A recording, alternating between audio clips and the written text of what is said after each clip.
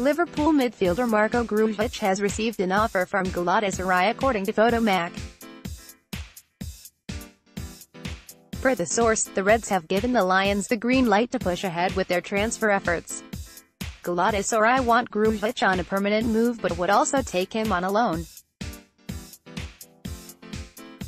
The final decision rests on the player and his agent who have yet to respond to the offer.